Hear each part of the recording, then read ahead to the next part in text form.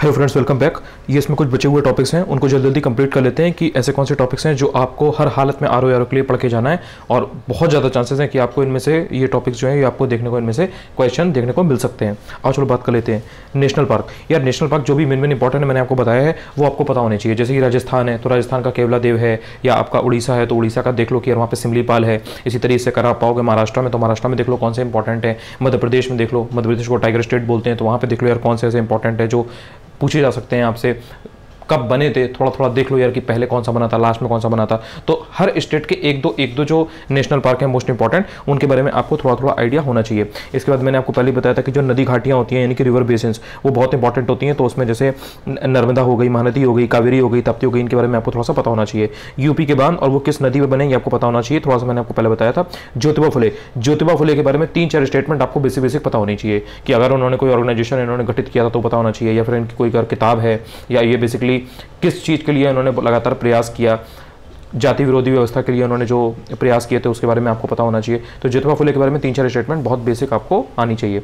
इसके बाद में अर्थ का जो एटमॉस्फेयर है, उसमें डिफरेंट टाइप के जो रेडिएशन है, वो आपको थोड़ा आइडिया होना चाहिए। इसके अलावा ट्रेड यूनियन वगैरह मैंने आपको पहले बताया था पॉल्यूशन हो गए पॉल्यूटेंट्स हो गए। इसके अलावा जो पीसा का एक्ट है पीईएसए यानी कि panchayat extension for schedule areas act ये आपको थोड़ा थोड़ा आइडिया होना चाहिए। देखिए, एक चीज़ याद रखिएगा, पंचायत से रिलेटेड कोई भी चीज़ हो, चाहे कोई एक्ट हो, चाहे उसमें वुमेन के रिजर्वेशन की बात हो, चाहे उसमें किसी तरीके के और कोई क्वेश्चन पूछा हो, कोई अमेंडमेंट हो पंचायत से रिलेटेड वो हमेशा ही इंपॉर्टेंट होता है तो आपको अच्छे से पढ़ना है उसको। उसके बाद में जो लीड बैंक स्कीम है एल बी एस इकॉनमी की, ये बहुत इंपॉर्टेंट है, इसमें देख लीजिएगा कि ये कब आई थी, इसमें क्या सीम है, क्या होता है। इसके अलावा जो न्यूज़पेपर्स हैं और जो मैगजीन्स हैं, और उसका प्लेस ऑफ़ पब्लिकेशन यानी कि वो मैगजीन या न्यूज़पेपर कहाँ से पब्लिश होता था? जैसे मान लीजिए बंगाल गजट है तो वो किस टाइम पर पब्लिश हुआ? कौन उसको किसने पब्लिश करवाया और साल कौन सा था? कहाँ से? कलकत्ता से हुआ या मुंबई से हुआ, मद्रास से हुआ, कहाँ से हुआ? ये आपको लोकेशन थोड़ा सा आइडिया होना चाहिए। इसके बाद में बात करें तो एस डी आपको मालूम ही है। ये मैंने आपको पिछले वीडियो में बता ही दिया था कि बहुत इंपॉर्टेंट है। उसके बाद में जैसे दार्शनिक और दर्शन हो गए, यानी कि जो फिलोसोफर्स हैं, उनका जो, उनकी जो फिलोसफी थी, वो तो आपको थोड़ा थोड़ा आइडिया होना चाहिए कि उससे कौन रिलेटेड जैसे रामानुजाचार्य हैं तो उनकी विशिष्टा द्वैत है या कौन सी है? या द्वैता द्वैत है तो वो किसकी है? द्वैतवाद किसकी है? निम्बार्कचार कौन थे? मध्वाचार कौन थे? ये आपको पता होना चाहिए। इसके बाद में पॉलिटिक आर्टिकल्स बहुत इंपॉर्टेंट है पब्लिक सर्विस कमीशन में आपको बताया ही था। इसके बाद में अगर आप आगे आएँगे तो नीलम संजीवा रेड्डी, नीलम संजीवा रेड्डी के बारे में स्पेशली दो, चार स्टेटमेंट चार स्टेटमेंट इनके बारे में फैक्ट जो है वो आपको पता होने चाहिए। इसी तरीके से लोकसभा स्पीकर के बारे में चार पाँच इंपॉर्टेंट चीज़ें जो है आपको पता होना चाहिए कि अगर जॉइंट जॉइंट सेटिंग होती है तो उसमें कौन उसको हेड करता है और कुछ कुछ चीज़ें जो लोकसभा स्पीकर के पास जो पावर्स होती हैं वो आपको थोड़ा आइडिया होना चाहिए। इसके बाद में जो योजनाएँ और कार्यक्रम है, उनका प्रारंभ वर्ष आपको, यानी कि वो कब स्टार्ट हुई है आपको पता होना चाहिए। मेजर मेजर देखो हर योजना नहीं, लेकिन मेजर मेजर जो है, जैसे मेक इन इंडिया है स्किल इंडिया है स्टैंड अप इंडिया है, ये सब आपको आइडिया होना चाहिए कि ये कब आई थी। इसके बाद में नेचुरल गैस के मेन कंपोनेंट्स आपको पता होना चाहिए। करंट अफेयर्स में मिस वर्ल्ड है मिस यूनिवर्स है मिस इंडिया है, ये सब अगर अभी हाल में कोई चुनी गई है तो आपको उसका पता होना चाहिए कि भाई मिस वर्ल्ड कौन बनी है। अगर इंडिया की कोई है जो फ़र्स्ट राउंड वगैरह रही है तो थोड़ा सा उसको भी देख लेना चाहिए। उसके बाद में मॉडर्न हिस्ट्री में जो ऑर्गेनाइजेशंस हैं, उनमें आपको ऑर्गेनाइजेशंस के जो ईयर है कि मतलब वो किस साल बनी थी और उसके बाद में उसके जो मेंबर्स हैं, वो आपको पता होना चाहिए कि भाई अगर नौजवान भारतीय सभा है तो उसमें कौन कौन थे, या अगर ईस्ट इंडिया एसोसिएशन है तो उसमें कौन कौन थे, अगर ब्रिटिश इंडिया एसोसिएशन है तो उसमें कौन कौन थे, अगर गदर पार्टी है तो उसमें उसके मेंबर कौन कौन थे, उसमें चार नाम दे देगा, पूछ देगा कि इसमें कौन सा एक मेंबर जो है वो इस संगठन का सदस्य नहीं था तो आपको पता होना चाहिए। जैसे हिंदुस्तान सोशलिस्ट एसोसिएशन है तो वो आपको पता होना चाहिए। आप उसके बाद में एचएसआरए है, यानी कि हिंदुस्तान सोशलिस्ट रिपब्लिकन एसोसिएशन, वो आपको पता होना चाहिए कि इसमें कौन ऐड हो गया था या कौन हट गया था, किसने बनाया था, कब बनाया था, कहाँ बनाया था, उन्नीस सौ चौबीस है कि उन्नीस सौ अट्ठाईस है, कानपुर है कि लखनऊ है, इस तरीके से। उसके बाद में प्लांट डिसीज मैंने आपको पहले भी बताया था सीएनजी के वगैरह के बारे में आपको चार पाँच फैक्ट पता होने चाहिए।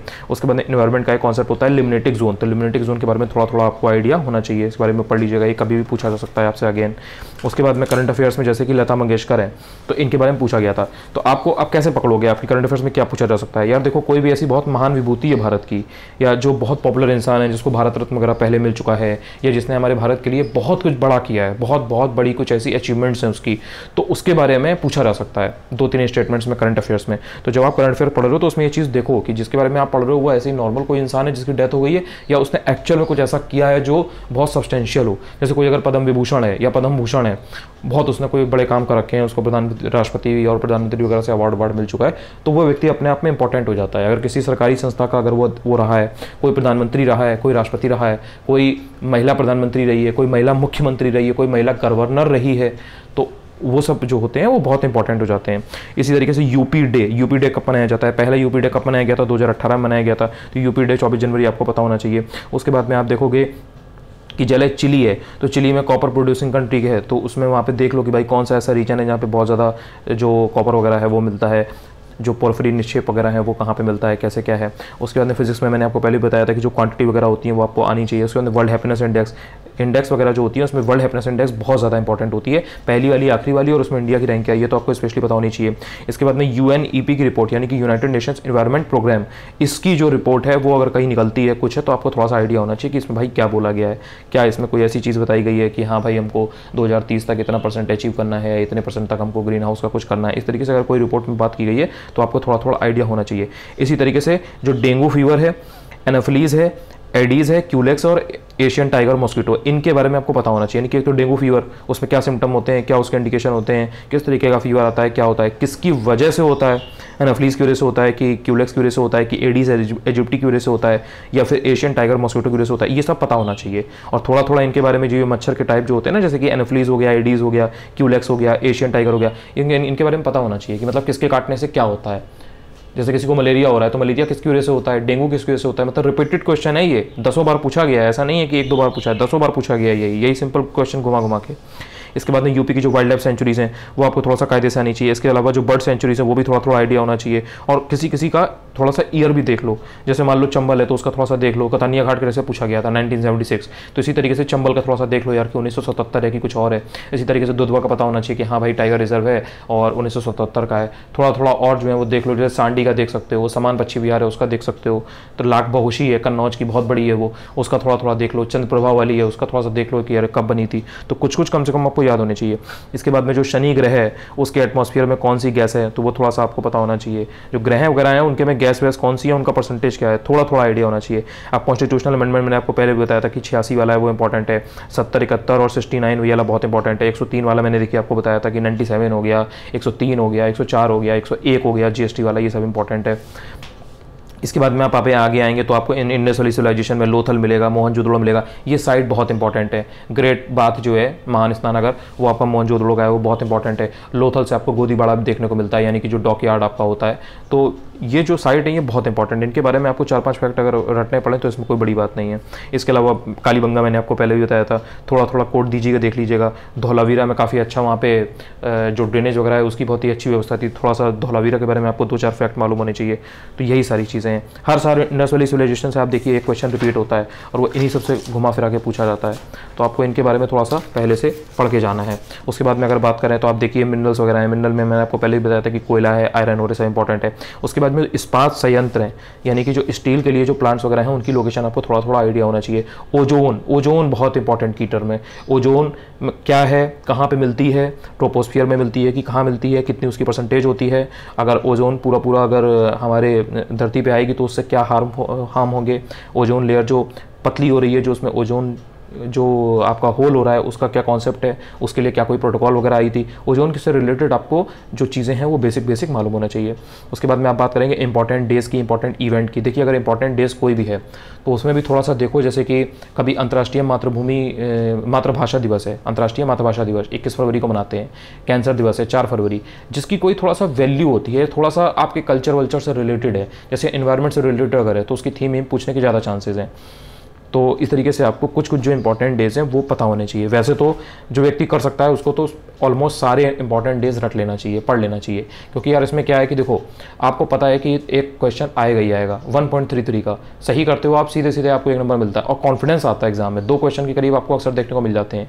ओजोन वाला जो है कि ओजोन डे वो सोलह सितंबर, पता नहीं कितने साल से पूछा जा रहा है एंड पिछले साल तक पीसेस में रिपीट हुआ है वो। आगे भी कोई बड़ी बात नहीं है, अगर आपके आर ओ के पेपर में ओजोन डे रिपीट कर दिया जाए। तो इसलिए वो जितने भी इंपॉर्टेंट डेज़ होते हैं ट्राई करो कि पढ़ लो। अब इस तरीके के मत पढ़ना यार कि वर्ल्ड टॉयलेट डे पढ़ रहे हो, उन्नीस नवंबर या फिर टेलीविज़न डे पढ़ रहे हो, इक्कीस नवंबर।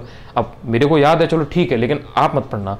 जो एकदम मेन मेन वाले हैं, वो पढ़ना। जैसे जेवलिन जब से ये नीरज चोपड़ा भाई ने जब से ये जीता है जेवलिन में तो उसके बाद से अब सात अगस्त को भाला फेंक दिवस मनाते हैं। तो अगर आपको याद है, तब तो ठीक है, नहीं याद है तो थोड़ा सा अवॉइड मारो। इतना ज़रूरी नहीं है कि ये पूछ लिया जाए। लेकिन हाँ कुछ कुछ बहुत मेन होते हैं। जैसे अंगदान दिवस है, बारह को होता है, बारह या चौदह को होता है, बारह को ही होता है आई थिंक तो वो देख लेना एक बार। तो वो जैसे इंपॉर्टेंट है। इस तरीके की चीज़ें पूछ लेता है अक्सर। या जैसे कि सॉइल डे है वर्ल्ड सॉइल डे तो वो दिसंबर में होता है, तीन या पाँच तारीख को। तो वो थोड़ा सा देख लेना। इसी तरीके से माउंटेन डे होता है, ग्यारह ग्यारह को। तो वो थोड़ा सा देख लो इंपॉर्टेंट हो जाता है। तो इस तरीके से आपको देखना पड़ेगा यार कि कौन कौन सा जैसे, अब जैसे आपका हेरिटेज डे होता है। तो वो आपका शायद अट्ठारह अप्रैल को होता है तो यार वो इंपॉर्टेंट है, वो पूछा भी गया था, वो अभी पिछले साल यूपी में पूछा गया था। तो इस तरीके से कुछ कुछ आपको छाटने पड़ेंगे। वही है कि जब कई बार पढ़ोगे तब समझ में आएगा कि यार ये इंपॉर्टेंट है कि नहीं है। एक दिन में नहीं आता है। जैसे मैंने तो आपको बता दिया कि हाँ भाई, ये कुछ दस बारह पंद्रह है, इन पर थोड़ा नज़र रखो, इनको थोड़ा सा देख लो, जैसे थायरॉयड है डायबिटीज़ डे है तो ये थोड़ा सा देख लो। या फॉरेस्ट और से रिलेटेड जो होते हैं, उनको थोड़ा सा देख लो, जैसे बाईस मई है, या आपका ये इन्वायरमेंट वाला आपने देख ही लिया। इसके अलावा जैसे इक्कीस मार्च है, बाईस मार्च है अर्थ डे है अर्थ आवर है तो ये सब कब मनाते हैं थोड़ा थोड़ा आइडिया होना चाहिए। है ना? उसके बाद में कुछ कुछ आपके जून में पढ़ते हैं, जैसे हेपेटाइटिस है तो हेपेटाइटिस वाला पड़ता है आपका अट्ठाईस जुलाई को। तो इस तरीके से आपको थोड़ा थोड़ा कुछ कुछ आइडिया होना चाहिए। अब जैसे एक बार एक इस बहुत इंपॉर्टेंट था, वो था आपका शून्य भेदभाव दिवस, यानी कि ज़ीरो टॉलरेंस डे तो वो आपका एक मार्च को पड़ता है तो वो आपको थोड़ा सा उसका आइडिया होना चाहिए, है ना? तो जब कई बार पढ़ोगे तो यार रट जाएगा। जैसे मुझे पता है, मुझे मतलब पूरे तुम कोई भी दिन ले लो सिंपल सा हो या इंपॉर्टेंट हो या इंपॉर्टेंट ना भी हो, मुझे याद है, क्योंकि मैंने कई बार पढ़ा है तो मुझे पता है ना कि क्या आता है, क्या नहीं आता है। तो वो कहीं भी, अब जैसे इस बार यूपीएससी का आया था पेपर उसमें तुरंत हेल्प मिल गई थी। क्यों? क्योंकि सात अगस्त को वहाँ पर मनाते हैं। तो हाथ का दिवस वगैरह शायद। तो वो वहाँ पे पूछा गया था। तो इतना कोई पॉपुलर नहीं है बट इट जस्ट कि आपने अगर पढ़ रखा है तो आप कर लोगे। आगे चलते हैं यार। मैंने थोड़ा सा डिटेल में समझा दिया आपको ताकि आप गलती ना करो। उसके बाद में जैसे रविन्द्रनाथ टैगोर हैं, शंकरन नायर हैं, उसके बाद में रामेश्वर सिंह हैं और जिन्ना है। जिन्ना और रविन्द्रनाथ टैगोर, इनके बारे में कायदे से पढ़ लो। जिन्ना के बारे में पंद्रह बीस फैक्ट जो मेन मेन इंपॉर्टेंट है, वो सारे पढ़ लो। और जो रविन्द्रनाथ टैगोर है, उनके बारे में भी दस पंद्रह फैक्ट प्रॉपर पढ़ लो कि इनको नोबल पुरस्कार कब मिला था। इन्होंने अगर अपनी जो नाइटहुड की उबाती है, वो कब त्याग दी थी, किस वजह से त्याग दी थी, और इनका क्या मानना था, कपड़ों की जो बर्बादी वगैरह जो की गई थी, जो स्वदेशी आंदोलन में जो कपड़े वपड़े जलाए गए थे विदेशी तो इन्होंने कह दिया था कि भाई ये निष्ठुर बर्बादी है, कोई फ़ायदा नहीं कपड़े वपड़े जलाने से। तो ये सब चीज़ें यार बेसिक फैक्ट हैं बार बार घटना चक्र में से वही क्वेश्चन रिपीट होते हैं। अगर ये सब पढ़ के रखोगे तो वहाँ पर गलती नहीं करोगे, वरना फिर वही है कि एकदम से दस हज़ार लोगों से पीछे होते हो। अगर इस तरीके के ईजी क्वेश्चन गलत करते हो तो। उसके बाद में एनर्जी वगैरह का आपको पता ही है कि यार एनर्जी का टॉपिक जोग्राफी में बहुत इंपॉर्टेंट है पावर हाइड्रो जो जो होते हैं हाइड्रो पावर वो आपको थोड़ा थोड़ा पता चल होना चाहिए। थर्मल पावर पर जो प्लांट्स जो हैं, वो भी थोड़ा सा आइडिया होना चाहिए। इसके बाद में आपका एंशियंट और में अगर आप देखोगे तो रचना, रचनाकार मैंने आपको पहले भी बताया उसके बाद में इंटरनेशनल अपकमिंग इवेंट है, जैसे मान लो कॉमनवेल्थ गेम्स हो रहा है। बहुत ध्यान से समझना है इस चीज़ को। जैसे करंट अफेयर्स में लोग कहते हैं, हम क्या पढ़ें भाई? भाई कॉमनवेल्थ गेम्स हो रहे हैं अगर तो उसको पढ़ लो। बिम्स्टेक की अगर कोई इवेंट हो रही है तो उसको पढ़ लो। बिम्स्टेक समिट अगर कोई हो रही है तो उसको पढ़ लो। अब जैसे वर्ल्ड इन्वेस्टर समिट यहाँ लखनऊ में हुई थी तो उसको थोड़ा सा देख लो। अगर कोई इंटरनेशनल फेस्टिवल हो रहा है, बहुत ज़्यादा आपके दिल्ली में, देश की राजधानी है तो वहाँ पर देख लो कि भाई वो क्या है। इसी तरीके से अगर आप देखोगे, जैसे एससीओ है संघाई कॉरपोरेशन ऑर्गेनाइजेशन तो उसकी अगर कोई इवेंट वगैरह इंडिया में कभी हो रही है तो उसको थोड़ा सा देख लो। इसी तरीके से जैसे राजा राम मोहन रॉय हैं, या रानाडे हैं एम जी रानाडे तो इनके बारे में थोड़ा सा आपको पता होना चाहिए, पाँच पाँच छः छः फैक्ट इसके बाद में जैसे ताराबाई शिंदे हैं, उनके बारे में चार, पाँच फैक्ट देख लो कि यार क्या होता है, कैसे क्या है। उसके बाद में पॉलिटिकल पार्टीज़ जो हैं, उनका ईयर ऑफ़ स्टेब्लिशमेंट देख लो। अगर आपको उनका पता होगा कि ये कब स्टेब्लिश हुई है तो अगर उनको क्रोनोलॉजी में लगाने को बोल दिया जाएगा तो you will be able to analyse them कि हाँ भाई, पहले कौन सी बनी, बाद में कौन सी बनी। समाजवादी पार्टी पहले बनी या बस जो बसपा है, वो बाद में बनी। तो आपको इस तरीके से थोड़ा थोड़ा आइडिया रहेगा बीजेपी कब बनी है इंडियन नेशनल कांग्रेस तो सबको पता है कि भाई एटीन एटी फाइव में बनी थी। तो इस तरीके से आपको थोड़ा थोड़ा आइडिया होना चाहिए। अब तो जैसे आम आदमी पार्टी है, वो भी नेशनल पार्टी बन गई है। तो इस तरीके से आपको चार पाँच फैक्ट पता होना चाहिए। इसके बाद में स्टेट और बायोस्फीयर रिज़र्व ये मैंने आपको पहले भी बताया था, पता होना चाहिए। इसके बाद यूपी में? ओ डी ओ पी यानी कि वन डिस्ट्रिक्ट वन प्रोडक्ट ये आपको थोड़ा सा आइडिया होना चाहिए। और इसके बाद में यूपी में अब तो वन डिस्ट्रिक्ट वन स्पोर्ट्स भी हो गया है। तो गोंडा की चीज़ के लिए पॉपुलर है बहराइच की चीज़ के लिए पॉपुलर है, लखनऊ की चीज़ के लिए पॉपुलर है। इस तरीके से आपको पता होना चाहिए कि भाई आपका जो जिला है, कम से कम आपका जिला और आपके ज़िले से जो लगने वाले ज़िले हैं, इस तरह से याद करो। जैसे आप मालूम रहते हो गोंडा में तो ये देख लो कि भाई गोंडा के आसपास बॉर्डर किस किस का है? उस, अपने गोंडा का याद करो और उन चार पाँच का याद कर लो। मेरा मान लो लखनऊ है तो मुझे ऐसा पता है कि हाँ भाई लखनऊ में ये है, इसके आसपास यहाँ पे ये कानपुर है, ये उन्नाव है, इधर रायबरेली है, सीतापुर है तो यहाँ पे लखीमपुर खीरी है तो भाई इनका इनका ये है। इस तरह से कोरिलेट करके याद करोगे तो ज़्यादा याद रहेगा। या इस तरह से याद करोगे भाई मेरे दोस्त का वहाँ पे है, मेरी जो संग में बंदी पड़ती है भाई उसका वहाँ पर था, मेरे जो भैया हैं उनका वहाँ पर है, इस तरीके से कोरिलेट करके याद करो कि यहाँ पे ये स्पोर्ट है। फॉरेस्ट रिपोर्ट मैंने पहले भी बताया था एग्रीकल्चर का डेटा एग्रीकल्चर का डेटा देखो यार, ये थोड़ा सा आउटडेटेड हो गया है। पहले बहुत ज़्यादा पूछा जाता था, लेकिन अब उतना नहीं पूछा जाता है, लेकिन आपको बेसिक बेसिक जो है उनका पता होना चाहिए। जैसे गेहूँ है। धान है, या आपका सरसों है, या जो मतलब जब तिलहन का उत्पादन होता है तो तिलहन का उत्पादन है, खाद्यान्न का उत्पादन है, सब्ज़ी का उत्पादन है वेजिटेबल्स और आपका फ्रूट्स हैं तो इनका आपको इन ऑल टोटल जो प्रोडक्शन है वो पता होना चाहिए। उसके बाद में सबसे ज़्यादा खाने में क्या यूज़ होता है भाई? गेहूँ, चावल, दाल, यही सब यूज़ होता है। तो इनका आपको मोटा मोटा पता होना चाहिए। थोड़ा बहुत मोटे अनाज का देख लो कि हाँ भाई, मोटे अनाज का टोटल प्रोडक्शन कितना है। तो बाकी आपको बहुत ज़्यादा नहीं रटना है कि तीन नंबर तक रट रहे हो कि पहले नंबर पर कौन सा स्टेट है, दूसरे नंबर पर कौन सा स्टेट है, ये सब नहीं करना है। बेसिक बेसिक देख लो कि हाँ भाई यूपी में सबसे ज़्यादा कौन से खाद्यान्न का उत्पादन होता है वेस्ट बंगाल किसमें सबसे ज़्यादा आगे है। उसके अलावा फ्रूट्स और वेजिटेबल्स में आंध्र प्रदेश है कि कोई और शिफ्ट हो गया है। तो इस तरीके से थोड़ा थोड़ा आपको याद होना चाहिए कि हाँ भाई मक्के में कर्नाटक है या कपास है आपका तो उसमें महाराष्ट्र है कि गुजरात है। थोड़ा थोड़ा इस तरीके से देख लो रैंडम कि आपको आइडिया रहे। अगर ऑप्शन में आए तो एकदम क्लोज ऑप्शन नहीं आता है। उसमें आता है ऑप्शन वो थोड़ा सा ऐसा आता है कि आपको थोड़ा बहुत भी आइडिया है ना जनरल अवेयरनेस भी है तो आप वहाँ पर एलिमिनेट कर ले जाओगे। तो उस तरह से पढ़ लो, क्योंकि अब एग्रीकल्चर डेटा 2018 के पीछे तक तो आया है, लेकिन उसके बाद से बहुत ज़्यादा नहीं आया है।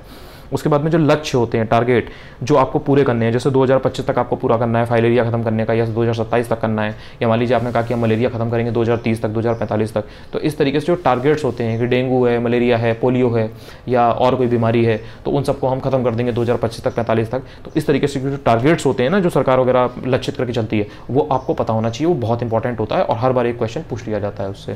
तो इसके अलावा अगर आप बात करोगे, नासा है जैसे तो देखो यहाँ पे नासा है। 2021 का या बाईस का पेपर आप उठाओगे, आप देखोगे नासा में जो स्पेस में सबसे लंबी यात्रा करने का रिकॉर्ड किसने बनाया था, ये क्वेश्चन पूछा गया था। यानी कि नासा जो है, वो कीवर्ड ही इंपॉर्टेंट है। अब आप जब इस बार का पेपर यूपी बी उठाओगे तो उसमें नासा और इसरो का मिला करके जो निसार था, वो पूछा गया था। अब जिस इंसान ने अच्छे से पी वाई क्यू एनालाइज कर रखा है, या ये जो मेरा वीडियो देख के इसको थोड़ा सा समझ लेगा, कायदे से नोट आउट कर लेगा, उसको बहुत फ़ायदा होगा। क्यों? क्योंकि वो देख लेगा कि हाँ भाई नासा कीवर्ड इंपॉर्टेंट है नासा से रिलेटेड पूछता है तो जब भी कभी करंट अफेयर्स पढ़ रहे हो तो तुम्हें हर किसी का पढ़ने की ज़रूरत नहीं है कि तुम यूरोपियन स्पेस एजेंसी पढ़ रहे हो जापान की स्पेस एजेंसी है, उसका भी तुम पढ़ रहे हो। नहीं, सबसे पहले नासा का पढ़ो और इसरो को पढ़ो, अपनी कंट्री का पढ़ो और यूएसए का पढ़ो, क्योंकि नासा सबसे ज़्यादा बड़ी बड़ी चीज़ें कुछ ना कुछ करती रहती है, कुछ ना कुछ एडवांसमेंट अपनी टेक्नोलॉजी में करती रहती है। इसके अलावा तुम्हारा यूपी यूपी ये मतलब तुम्हारा इंडिया है इसरो तो इन लोगों के तुम्हें पता होना चाहिए।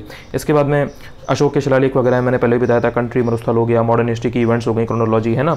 उसके बाद के जो हैं, अब जैसे संविधान है, संविधान में जो प्रमुख प्रमुख वाद हैं, जैसे कि केस उनका ईयर और उन्होंने क्या जजमेंट पास की थी, आपको पता होना चाहिए। जैसे कि भाई बेरुबारी केस है, कब आया था, साठ में आया था कि कब आया था, इस तरीके से गोलकनाथ का केस है, इस तरीके से केशवानंद भारती केस है। तो उसमें क्या उन्होंने इंपॉर्टेंट जजमेंट पास की है और किस ईयर में वो आए थे, ये आपको पता होना चाहिए, क्योंकि अक्सर क्रोनोलॉजी में लगाने को पूछ देता है। थोड़ा सा जल्दी जल्दी निपटाते हैं। अब आप लोग को काफ़ी आइडिया लग गया है तो डिटेल की इतनी ज़रूरत आई थिंक नहीं है। अब आप लोगों को मैं जल्दी जल्दी बताता हूँ, ठीक है? उसके बाद में देखो, जैसे कि जल जीवन मिशन है। अब आप देखो, कैसे पेपर को एनालाइज करते हैं, देखो, जैसे जल जीवन मिशन है। ये योजना पूछी गई थी, आपसे क्वेश्चन पेपर पूछा गया था कि किस बजट में घोषित की गई थी। पिछले साल यही क्वेश्चन तो यूपी में आया था यूपी पीसीएस में। इस बार उन्होंने जल जीवन मिशन एक ऑप्शन में दे रखा था। कि उसको कितना बजट एलोकेशन किया गया है, क्या किया गया है। क्योंकि जल जीवन मिशन जो कीवर्ड है, वही इंपॉर्टेंट है।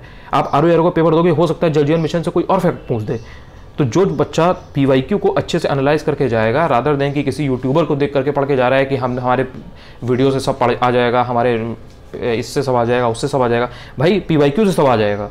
इस चीज़ को आपको समझना पड़ेगा। ये बात आपको तब समझ में आती है जब आपका एक दो अटैम्प वेस्ट हो चुके होते हैं। तो इस तरह से थोड़ा सा एनालाइज करना सीखो। उसके बाद में जैसे ड्रग्स वगैरह हैं तो ड्रग्स के टाइप वगैरह देख लो कि भाई ऐसी कौन सी ड्रग्स होती हैं जिसमें थोड़ा सा सल्फ़र वगैरह होता है, किसमें सल्फ़र नहीं होता है एंटीबायोटिक होती हैं, उनमें क्या होता है, या एंटीबायोटिक क्या होती हैं, बुखार के लिए कौन सी होती हैं एंटीबायोटिक बोलते हैं उनको या क्या बोलते हैं। बेसिक बेसिक आपको आइडिया होना चाहिए। इस तरीके से जैसे यू है यूनाइटेड नेशन डेवलपमेंट प्रोग्राम तो उसमें पॉवर्टी वगैरह है, उसके बारे में अगर कोई बात की है यू ने पॉवर्टी के बारे में, या अनएम्प्लॉयमेंट के बारे में कोई बात अगर यू ने की तो आपको पता होना चाहिए। स्तूप वगैरह मैंने आपको पहले भी बताए थे। इसके अलावा जैसे इंजन वगैरह हैं, जैसे पेट्रोल है, डीजल है तो इसमें जो कार्बोरेटर इंजन वगैरह हैं तो उनसे किस टाइप का स्मोक वगैरह निकलता है? उसमें स्मोक में कौर वगैरह से केमिकल या गैसेज वगैरह हो सकती हैं? थोड़ा थोड़ा आइडिया होना चाहिए। इसके बाद में जैसे पीवी सिंधु है। करंट अफेयर्स कभी भी पढ़ रहे हो बैडमिंटन में पीवी सिंधु का नाम आएगा। और बैडमिंटन में अगर पीवी सिंधु का नाम आए और उसने अगर कोई भी कोई भी अगर कोई ट्रॉफी उसने जीत रखी है, वो ज़्यादातर सिल्वर ही जीतती है। गोल्ड वोल्ड तो वो तुक्के से जीत जाए जीत जाए, वैसे वो सिल्वर ही जीतती है, ठीक है? गोल्ड वगैरह एक बार देखा होगा आपने कि वो गोल्ड वाला जो लड़की थी उसने सरेंडर कर दिया था, कह दिया था, हम खेले लेंगे नहीं तो उसको गोल्ड मिल गया था सिंधु को, वरना वो सिल्वर जीतती है। तो कभी भी जैसे ऑप्शन में आए, तुमको नहीं याद है, नहीं याद है। मान लो रैंडम जैसे कहते हैं ना, लोग तुक्का कैसे मारे तुक्का ऐसे ही मारते हैं इंटेलिजेंट कैसे मारा जाता है? वो कैसे मारते हैं? भाई पी सिंधु हमेशा सिल्वर जीतती है, तुम कभी देख लेना रिकॉर्ड उठा के देख लेना। अगर उसने, मान लो, बीस चैंपियनशिप खेली है एक साल में, बीस में से उन्नीस में से सिल्वर जीता होता है तो मान लो तुमको नहीं पता है कि पीयू सिंधु ने गोल्ड जीता सिल्वर जीता। भाई सिल्वर भी तुक्का मारो। उसमें तुमको चांसेस ज़्यादा हैं आपके कि आपको वो सही हो जाएगा। तो इस तरह से पीवी सिंधु और पीवी सिंधु के बारे में कोई भी फैक्टर पढ़ लो। उसने कोई भी इवेंट अगर खेली है, उसमें अगर वो ऊपर तक गई है, वो जाती है ऊपर तक, ये भी उसकी खास बात है। वो बंदी क्वार्टर वार्टर फाइनल सब जीत जाएगी। बहुत कम ऐसा होता है कि वो क्वार्टर फाइनल के पहले हार जाए नॉकआउट वॉकआउट में हार जाए, वो ऊपर तक जाती है बंदी। एंड वो ऊपर तक जाएगी तो वो सिल्वर लेके आएगी। जनरली तो उसके बारे में तीन चार फैक्ट जो भी हो, वो हमेशा पढ़ लो। वो इवेंट बहुत इंपॉर्टेंट होती है, जिसमें पी सिंधु पार्टिसिपेट करती हैं। इसके बाद में अगर आप बात करो तो Middle East region current affairs में बहुत इंपॉर्टेंट होता है। मिडिल ईस्ट से रिलेटेड जो लोकेशन वगैरह हैं, जैसे इराक है, या ईरान है सीरिया है। जैसे अभी भूकंप भूकंप आ गया था वहाँ पे टर्की वगैरह में सीरिया में। तो वहाँ पे एक गाजम करके कोई एक प्रोविंस है, मुझे एक्जैक्टली नाम इसमें स्ट्राइक नहीं कर रहा मेरे माइंड में। तो वो प्रांत वगैरह जो है, वो उसकी लोकेशन वगैरह देख लो भाई, कि उसके आसपास कौन कौन सी बॉर्डरिंग स्टेट हैं बॉर्डरिंग कंट्रीज़ हैं, और कहाँ पे एक्जैक्टली आया था क्या हुआ था कोई वहाँ पे बहुत बड़ी इंपॉर्टेंट बिल्डिंग विल्डिंग तो नहीं थी, जिसका नुकसान हुआ भूकंप में। तो ये थोड़ा थोड़ा आइडिया होना चाहिए। इसके बाद में जैसे बैक्टीरियल डिसीजेज होती हैं वायरल डिसीज होती हैं थोड़ा थोड़ा आइडिया होना चाहिए। वैक्सीन वगैरह का थोड़ा आइडिया होना चाहिए कि हाँ भाई डिप्थीरिया है, काली खांसी है पर्ट्यूसिस है तो इसके लिए कौन सी हम वैक्सीन वगैरह यूज़ करते हैं। इसके बाद में आप आगे आओगे तो आप देखो कि जो ह्यूमन डेवलपमेंट इंडेक्स है एसडीआई इसके बारे में आपको कायदे से पता होना चाहिए। हर बार घुमा घुमा के वही एसडीआई के बारे में पूछता है। कभी उसका पूछ लेगा कि ये कब रिपोर्ट आई थी, कब पूछ लेगा कि उसमें क्या चल रहा है, कभी पूछ लेगा कि उसमें इंडिकेटर कौन कौन से होते हैं, कब उसमें कभी उसमें कुछ और देख लेगा कि भाई इसमें इंडिया की रैंकिंग क्या है। तो आपको एस के बारे में पता होना चाहिए। सबसे अच्छा ह्यूमन डेवलपमेंट कहाँ पर है, सबसे ज़्यादा तो वो भी आपको थोड़ा थोड़ा आइडिया होना चाहिए। उसके बाद में संविधान के पार्ट्स हैं तो आपको पता होना चाहिए कि चौदह में क्या है, पंद्रह में क्या है, ग्यारह में क्या है, इस तरह से बेसिक है ये तो बहुत। उसके बाद में अलाउद्दीन खिलजी की एक्सपीडिशन मैंने आपको पहले भी बताया था। इसके बाद में अगर आप बात करो तो इसमें आप आप देखोगे इन्वायरमेंट इन्वायरमेंट में जो एक्ट वगैरह होते हैं, वो आपको थोड़ा सा अच्छे से पढ़ना है। जैसे एक्ट है, जैसे प्रोजेक्ट टाइगर है प्रोजेक्ट टाइगर हो गया प्रोजेक्ट एलिफेंट हो गया, कायदे से पता होना चाहिए। इन्वायरमेंट में जैसे एक्ट है, जैसे कि आपका 1986 का पर्यावरण वाला एक्ट है, पर्यावरण संरक्षण वाला एनवायरमेंट प्रोटेक्शन ई पी है। या फिर आप अगर बात करो, जो इस बार आया था, जल प्रदूषण रोकथाम वाला, या फिर आप वायु प्रदूषण रोकथाम वाला बात करो नाइनटीन सेवेंटी या फिर इसके अलावा आप बात करो, जो आपका एक दो उसके पहले के भी हैं तो वो भी आपको थोड़ा थोड़ा आइडिया होना चाहिए कि भाई वो किस साल में आए हैं। इसके बारे में अगर आप देखोगे तो फंडामेंटल ड्यूटीज़ वगैरह, ये तो बेसिक है, मैंने आपको बताया था। इसके बाद में कुछ कुछ बैटल्स होते हैं इंपॉर्टेंट हिमालय हिमालय बहुत ही इंपॉर्टेंट कीवर्ड है। हिमालय के बारे में पढ़ लो कि भाई ट्रांस हिमालय क्या होता है, लघु हिमालय क्या होता है, ये जो नैनीताल वगैरह और ये जो अल्मोड़ा वगैरह का रीजन है, उत्तराखंड में, ये किस रीजन में आता है? जो आपका लद्दाख में जो, ले लद्दाख वाला जो पूरा एरिया है, वो किस, उसमें आता है। काराकोरम रेंज किधर है? झांसकर रेंज किधर है? कौन सी वहाँ पर नदी बहती है? थोड़ा थोड़ा आपको हिमालय के बारे में कायदे से आइडिया होना चाहिए कि वो किस उसमें है। वहाँ पर क्या भूकंप भूकंप आने के चांसेस हैं कि नहीं है? ये सब बेसिक चीज़ें आपको आइडिया होना चाहिए।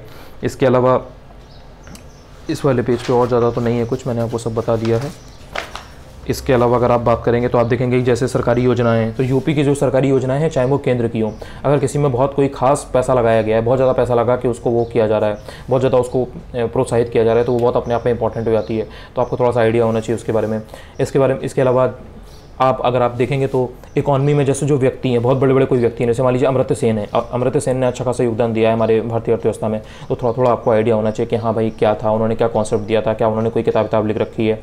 इसके अलावा पंचायत वगैरह से रिलेटेड तिहत्तरवां अमेंडमेंट है थोड़ा थोड़ा आपको आइडिया होना चाहिए। डब्ल्यूएचओ वर्ल्ड हेल्थ ऑर्गेनाइजेशन अगर वो किसी बीमारी बीमारी के बारे में कोई अगर एडवाइजरी जारी कर रहा है, बहुत बड़ी और उसका एकदम देश विदेश पर असर पड़ रहा है, भारत के बारे में उसने डब्ल्यूएचओ ने कोई अगर रिपोर्ट रिपोर्ट में कोई खास बात कही है तो आपको थोड़ा सा आइडिया होना चाहिए।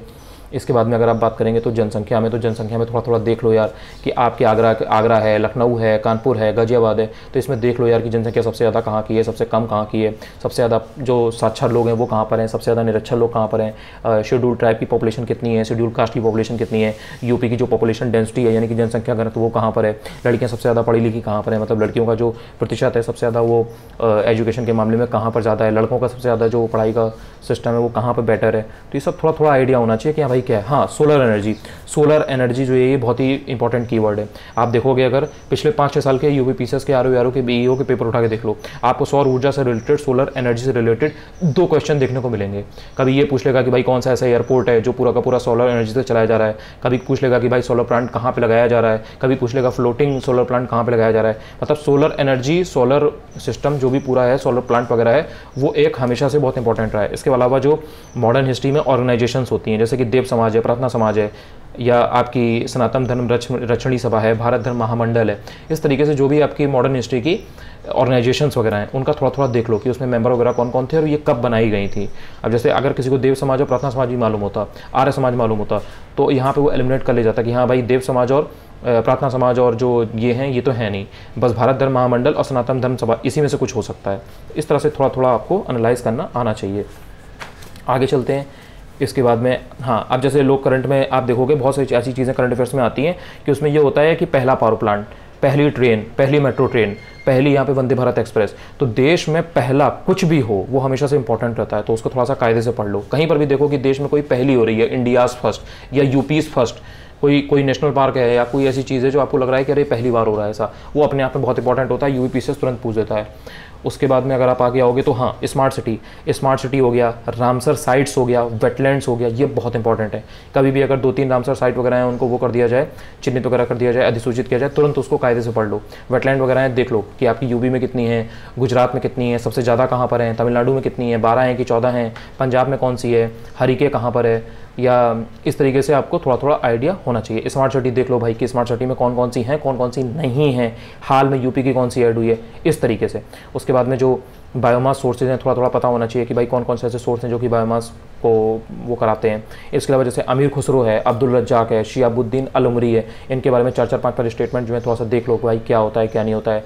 इसके अलावा जो इंपॉर्टेंट कमिटीज़ हैं, उन, वो किस ईयर में बनी है थोड़ा सा पता होना चाहिए। जैसे यार रंगराजन कमेटी है, कब की है थोड़ा सा पता होना चाहिए। खुसरो कमेटी है, वो कब कब की है, पता होना चाहिए। आबिद हुसैन कमेटी है, वो लघु उद्योग के लिए है कि किस चीज़ के लिए पता होना चाहिए। नरसिमन कमेटी है थोड़ा थोड़ा आइडिया होना चाहिए। जैसे वांचू है, या आपकी दंतेवाला है, या रेखी समिति है। तो ये सब यार बहुत इंपॉर्टेंट समितियाँ हैं कमिटीज़ हैं। ये आपको इनका ईयर थोड़ा सा आइडिया होना चाहिए। इसके बाद में ये यू पी जे का है। यू पी जे के मैंने आपको काफ़ी हद तक वैसे बता दिए थे। तो इसको आगे चलते हैं। ये यू पी जे के इंपॉर्टेंट टॉपिक्स हैं सारे। इसके बाद अगर आप आगे देखोगे तो आपको वही सारी चीज़ें मिलेंगी कि जैसे अकबर है तो अकबर के टाइम पे बहर उल असमार नाम से रास्तंगड़ी का अनुवाद किसने किया? आप देखो, हर बार एक क्वेश्चन इस तरीके का आता है मिडिवल हिस्ट्री में कि कोई एक बुक दी गई होगी, उसका फारसी में या उसमें अनुवाद वगैरह पूछा होगा तो आपको थोड़ा सा आइडिया होना चाहिए। इसके अलावा जो भीमसेन कायस ने ये एक बहुत इंपॉर्टेंट टॉपिक है, इनसे भी कभी पूछा जा सकता है तो थोड़ा सा इनके बारे में आप देख लीजिएगा। मुगल काल में टर्मोलॉजी वगैरह है, जैसे देह देह का मतलब क्या होता है? थोड़ा सा आपको आइडिया होना चाहिए। बाकी मल्टीपर्पज़ प्रोजेक्ट्स वगैरह हैं, थोड़ा सा आप देख लीजिए कि उसमें क्या है, क्या नहीं है। फिरोज़ तुगलक है, अलाउद्दीन खिलजी है, गया, गयासुद्दीन तुगलक है। थोड़ा थोड़ा आपको आइडिया इन सब का होना चाहिए। इसके बाद में आप आगे आओगे तो आप देखोगे कि जैसे पॉलिटी में आओगे तो देखोगे जैसे के सी हैं, या फिर आइवर जेनिंग्स हैं या फिर ग्रैनविल ऑस्टेन है, इन्होंने कोई बात बोली है। कॉन्स्टिट्यूशन को लेकर के या जो कॉन्स्टिट्यूशन में जो प्रियम्बल है, प्रस्तावना है, उसको लेकर के कोई बात बोली है, कोई ऐसा कमेंट किया है, कोई टिप्पणी की है के सी वियर ने आइवर जेनिंग्स ने या ग्रैनविल ऑस्टेन ने, वो रट लो, वो कायदे से दिख लो कि भाई, क्या इसका आंसर होगा, क्या होगा? उसके बाद में जैसे एक्सप्रेस वे है, अब वो एक्सप्रेस वे चाहे आपका ये बुंदेलखंड वाला एक्सप्रेस वे हो या कोई अगर कोई और बनना है, जैसे अगर ये आपका गंगा एक्सप्रेस वे है, जो मेरठ से लेकर प्रयागराज तक आएगा तो वो वाला देख लो भाई कि कितने किलोमीटर का है, कितने जिलों को वो पास करेगा। बुंदेलखंड एक्सप्रेस वे है तो वो कहाँ से स्टार्ट हो रहा है, कहाँ तक जाएगा? चित्रकूट के पास से स्टार्ट हो रहा है कि कहाँ से स्टार्ट हो रहा है? इटावा के पास आके वो जुड़ जाएगा। ये आगरा एक्सप्रेस वे में। तो इस तरीके से कितने जिलों से होकर के गुजरेगा? पता होना चाहिए कि सात जिलों से होकर गुजरेगा कि आठ जिलों से होकर गुजरेगा। कोई अगर पूछ दे कि हाँ भाई, इसमें किस किस जिलों को फ़ायदा होगा? आजमगढ़ को फ़ायदा होगा कि नहीं होगा बुंदेलखंड एक्सप्रेस वे से? तो आपको पता होना चाहिए कि होगा कि नहीं होगा। वो ऐसे ही पूछेगा। पूछेगा उसी चीज़ से, लेकिन थोड़ा सा घुमा के पूछेगा। अब जैसे मेघालय है तो मेघालय की सीमा भूटान से मिलती है कि नहीं मिलती है? थोड़ा सा पता होना चाहिए। या जैसे कुछ कुछ टर्म होते हैं, जैसे मुकदम है, सरखेल है, बरीद है, सदका है, इन टर्म्स, इन सब टर्म्स का मीनिंग आपको मालूम होना चाहिए। अब जैसे एक क्वेश्चन आया था कि 2015 में स्कीम कौन सी स्टार्ट नहीं हुई? चार स्कीम दी थी और ये पूछ लिया था कि 2015 में कौन सी स्टार्ट नहीं हुई। तो आपको थोड़ा थोड़ा आइडिया होना चाहिए कि भाई 2015 में कौन कौन सी ऐसी बड़ी बड़ी स्कीम थी जो पास हुई थी। कई स्कीम तो ऐसी हैं जो एक ही दिन लॉन्च हुई थी। दोनों। तो आपको उस तरीके से याद होना चाहिए। जैसे कि एक आई थिंक है प्रधानमंत्री सुरक्षा बीमा योजना और एक है अटल पेंशन। ये 9 मई को ही दोनों की दोनों आई थी। तो एक बार चेक कर लीजिएगा, लेकिन वैसे दोनों सही है ये। तो इस तरह से आपको पता होना चाहिए कि 2015 है 2016 है 2017 है तो उनकी कौन कौन सी है। इसके बाद में अगर आप देखोगे, जैसे पॉलिटी में आओगे तो देखोगे यार, ज़ीरो आवर होता है तो शून्य काल आपको पता होना चाहिए कि भाई क्या होता है। बाकी जैसे प्लानिंग व्लानिंग है प्लानिंग कमीशन है, नीति आयोग है नेशनल स्टैटिस्टिकल कमीशन है, इसके बारे में आप थोड़ा थोड़ा जानते ही हो। हाई कोर्ट है सुप्रीम कोर्ट है तो इसमें अभिलेख न्यायालय कौन सा होता है, क्यों होता है, क्या मतलब होता है इसका थोड़ा थोड़ा आपको आइडिया होना चाहिए। अब जैसे लॉर्ड कर्जन है, बहुत इंपॉर्टेंट था वो। मिंटो है डफरिन है इरविन है, मैंने आपको पहले भी बताया है, जो इस तरीके के थे, जिन्होंने कुछ सब्सटेंशियल किया है, वो आपको आइडिया होना चाहिए। इसके बाद में राज्यसभा है, लोकसभा है तो उसमें सदस्य संख्या, आपको थोड़ा थोड़ा आइडिया होना चाहिए। उसके बाद में ससैनियन इंस्क्रिप्शन है, थोड़ा सा इसके बारे में पढ़ लीजिए, दो तीन दो तीन स्टेटमेंट कि भाई ससैनियन इंस्क्रिप्शन किसका था, कहाँ पे था, क्या टाइम पीरियड था, क्या इसमें खास बात है। उसके बाद में भगत सिंह का मैंने आपको पहले भी बताया है वायरस रस के बारे में थोड़ा यार देख के रख लो, जब से कोविड आया है, तब से तो ये हर बार एक बार एक क्वेश्चन वैक्सीन के ऊपर पूछ लेते हैं, थोड़ा सा वायरस रस के बारे में देख लो। इसके बाद में जैसे हड़प्पा है तो हड़प्पा में देख लो यार कि उसमें कौन कौन सी फ़सलें उगाई वगैरह जाती थी तो थोड़ा थोड़ा आइडिया होना चाहिए। उसके बाद में बजट है तो बजट यार जो भी आपके साल का निकलता है, जैसे आपका मान लीजिए एग्ज़ाम अप्रैल में हो रहा है तो मार्च वार्च में जो भी आपका ये बजट वजट आता है इकोनॉमी सर्वे आता है तो उसको थोड़ा सा सरसरी इनका से देख लो। कुछ कुछ चीज़ें फैक्चुअल देख लो कि हाँ भाई उसमें जो जो राजकोषीय घाटा है वो कितना अनुमानित है, या उसमें कौन सी योजनाओं पर कितना पैसा लग रहा है। तो ये सब बेसिक चीज़ें आपको आइडिया होना चाहिए। इसी तरीके से यूपी में देख लो। उसके अलावा कुछ कुछ झीलें होती हैं, बहुत इंपॉर्टेंट होती हैं। यूपी में कौन कौन सी झीलें हैं? जम्मू कश्मीर में कौन कौन सी झीलें हैं? लद्दाख में अगर कोई झील है तो देख लो। पंजाब में है तो देख लो। त्रिपुरा में देख लो। रुद्रसागर कहाँ पर है देख लो। थोड़ा थोड़ा देख लो अगर कोई हरियाणा वगैरह में हो। राजस्थान में कोई बहुत बड़ी इंपॉर्टेंट झील हो। सांबर झील है। आपकी इधर ओडिशा में चिल्का झील है, लगून झील है। या इस तरीके से आप आओगे तमिलनाडु, केरल साइड तो वहाँ पर देख लो यार कि केरल में कौन सी हैं। तो झीलें वगैरह आपको पता होना चाहिए हर स्टेट में अगर कोई भी है। थोड़ा थोड़ा तो कम से कम मालूम ही हो। बाकी पॉक्सो एट है तो इसमें क्या इसमें क्या प्रोविजंस हैं, कब आया था? 2012 में आया था कि 2014 में आया था थोड़ा थोड़ा आइडिया होना चाहिए। बाकी जो 15 फाइनेंस फाइनेंस कमीशन है, उसकी रिपोर्ट है। थोड़ा थोड़ा उसमें देख लो यार कि क्या प्रोविजंस हैं, कब से, तक, कब तक का इसमें टाइम पीरियड है है ना? पंद्रहवीं वित्त आयोग की रिपोर्ट इसके अलावा बाकी तो आपका जितनी भी चीज़ें मैंने कराई दी हैं। तो यहाँ पे आपका ये जितने भी इंपॉर्टेंट टॉपिक्स को, ये बात थी, वो मैंने आपको सारे करा दिए हैं। अब इसमें से one by one one by one करके तीन चार टॉपिक एक दिन में कंप्लीट करने का टारगेट आप रखो। जो भी इसमें से इंपॉर्टेंट टॉपिक्स हैं, धीरे धीरे धीरे धीरे मैं उसको कराता चलूँगा।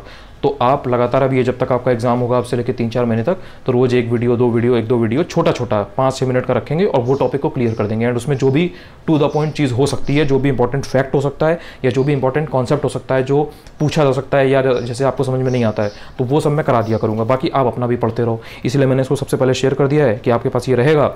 आप इसको लिख भी सकते हो कि हाँ भाई जैसे मैं बोल रहा हूँ, आपने लिख लिया कि हाँ भाई, ये लेफर कर्व था, ये इंपॉर्टेंट था, इसमें ग्रिफिथ कर्व है, ये बहुत इंपॉर्टेंट है। तो इस तरीके से आपने लिख लिया, देख लिया। अब उसको आप जब भी कभी पढ़ रहे हो तो इन सब चीज़ पर फोकस करो। मेरा काम ये नहीं है कि मैं आपको स्पून फीट करा दूँ, कि मैं आपको एकदम एक चीज़ जो मैं कह दूँ कि भाई, ये ये ये, मैंने चीज़ बताई है, तुम ये पढ़ लो और तुम पास हो जाओगे। नहीं नहीं नहीं मैं ये नहीं कह रहा। मैं कह रहा हूँ कि ये चीज़ इंपॉर्टेंट है, ये पढ़ लो। मुझसे पढ़ो पढ़ो, कोई फ़र्क नहीं पड़ता, लेकिन कहीं से भी पढ़ो, पढ़ लो। आई होप कि आपको थोड़ा सा माइंड में क्लैरिटी आई होगी, और सब लोगों को थोड़ा सा हेल्पफुल रहेगा। अगर चैनल पर नए हो वीडियो अच्छा लगा तो यार थोड़ा सा सब्सक्राइब कर लिया करो। अगर मन करे ना मन करे, कोई बात नहीं, लेकिन वीडियो कैसा लगा बताया करो। अच्छा लगे तो बताओ, बुरा लगे तो बताओ। अगर खराब भी लगेगा तो बताओ तो उससे क्या है कि मैं अगर इंप्रूव कर सकूँगा तो उसमें इंप्रूव करूँगा। Bye take care thanks for watching